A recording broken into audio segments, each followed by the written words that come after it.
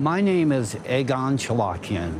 I am a particle physicist, international tax and IP law professional, federal lobbyist, and intelligence community educator who has devoted decades of research to studying the impact of climate change on national security. The current state of Earth's climate is an unprecedented catastrophe, a mortal challenge to our entire civilization. However, the paradox lies in the fact that a significant portion of humanity remains unaware of this catastrophe's full scale and reality.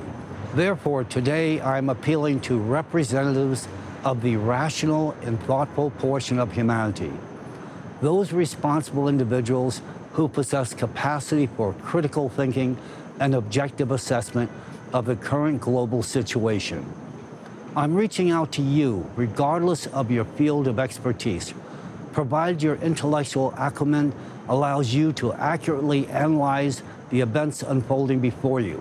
I appeal to you, if your intellect transcends primitive thought, I appeal to you, if you harbor concern for your future, your loved one's future, and the entire humanity's future, I appeal to you, if you have not lost your sound judgment and the ability to think clearly, for it is incumbent upon you, intelligent and thoughtful individuals, that everything now depends.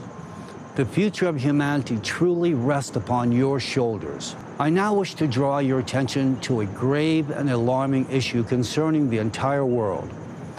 Russia, that is, the Siberia portion of Russia. Russia is a robust and dynamic country with a developed economy and vast natural resources. However, as of today, Russia is a threat, a clear threat to the existence of all mankind. And Vladimir Putin has nothing to do with it.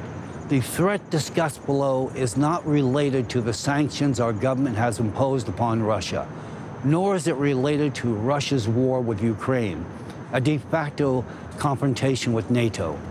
Still, this threat is related to what Russia values and is so proud of, their own Siberian territory. Siberia is an immense part of Russia's territory abundant natural resources and boasts a unique flora and fauna. Encompassing a substantial portion of northern Asia, Siberia includes tundra, coniferous forest, and mountain ranges.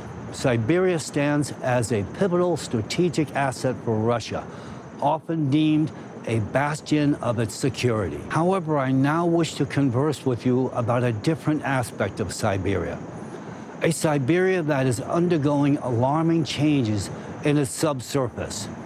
These changes indicate a looming and unprecedented global climate catastrophe. And this catastrophe is not only for Russia. At the same time, I wish to caution those who find a certain joy in this matter, those who pursue an active anti-Russian policy, and those whose intellect falls short of comprehending the gravity of the situation. Do not rush to celebrate. Numerous compelling facts indicate that the events unfolding in Siberia could lead to the disappearance not only of Russia, but also of our world as a whole, including America and other countries collectively. I want to emphasize that this catastrophe is not merely a possibility, but an inevitability if we remain inactive. Moreover, this will occur not in some distant future or the next millennium, but merely in a matter of years, shortly ahead of us. Let me put it this way. If a child were born today, they wouldn't even have the chance to attend school before the world ceases to exist, along with each one of us. Such a scenario is highly likely if we allow indifference and inaction to prevail. First, I would like to give you a brief and clear understanding of this urgent problem. What is happening in Siberia? First and foremost, look at this map, which presents a genuinely alarming sight for those who understand the essence of the processes occurring on Earth today. Look at how the colors are distributed on this map and pay attention to the bright black red spot located precisely in the Siberian region. It contrasts sharply with the rest of the world, doesn't it? And this dark spot is a matter of great concern. Why, you ask? What does this map reveal? It identifies temperature anomalies stemming from the core of our planet that are deviations from the average temperature. You can clearly see the territory of Siberia has already experienced an extreme deviation from the normal temperature. And this deviation is more than 5 to 7 degrees Celsius, which is equivalent to 40 45 degrees Fahrenheit. In reality, this is a massive value considering that in other regions of our planet, temperature deviations are routinely measured in within one to two degree variances. But in Siberia, there is a very alarming five to 70 degree variance. This means that the entire territory of Siberia is warming at an accelerated rate two to three times faster than the rest of the planet. This is a scientifically confirmed and accepted fact. Be advised, this same alarming rate of heat measurement is increasing every day. Please take a look at the following graph, which provides an analysis of the dendrochronological data covering a span of 7,000 years. Upon doing so, please pay attention to the long black line. It shows how the number of temperature extremes, anomalies, in Siberia have exponentially increased over the past decades. This information is merely parroted from information provided by a peer-reviewed article by the scientists from the Russian Academy of Science.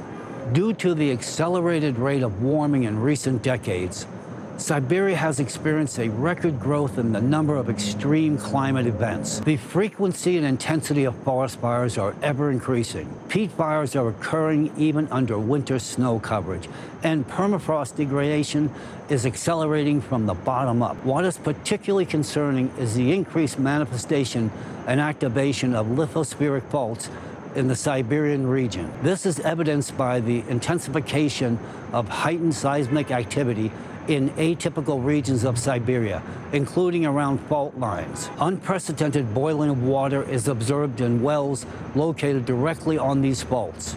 There are extreme increases in geothermal anomalies in Siberia. The number of gas emission craters is increasing in the northern regions, with intensified methane and hydrogen emissions being realized from the inner Earth. In the event you have not yet noticed, mud volcanism on the Arctic shelf is becoming significantly more pronounced.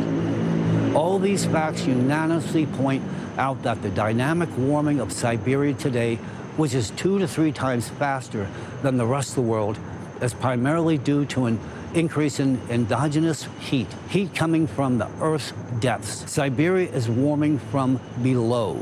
This situation demands interrogation. What is causing the increase in endogenous heat beneath Siberia? And why does this matter now warrant our undivided attention? Now I will provide a detailed explanation of this matter in its logical cause and effect format. Research conducted by competent Russian scientists have revealed that in the late 1990s, an unprecedented event occurred within the Earth's interior. The Earth's core experienced a jump, a sudden shift in northern direction from western Antarctica to western Siberia, specifically to the Taimyr Peninsula. This displacement led to the deformation of all mantle layers and the asymmetric heat distribution from the Earth's depths. As a result of the core's pressure towards Taimyr, deep magnetic hotspots formed beneath Siberia, actively lifting magma closer to the junctions of the lithospheric plates. Consequently, heat accumulated beneath Siberia's upper mantle layers, and the thin lithospheric crust started the process of melting from the magma. In essence, the rates of lithospheric melting are accelerating due to the increasing temperatures and fluidity of the magma itself. The cause of this phenomena is the ocean's loss of its heat conducting function due to ocean pollution with microplastics which accumulate in its waters due to human activity, the ocean cannot effectively cool the lithospheric plates and consequently the magma beneath them. In other words, the ocean is losing its ability to dissipate excess heat from the depths into the atmosphere. This leads to the heating of magma and its more active ascent towards the surface, a phenomena observed not just in Siberia, but in various points around the planet.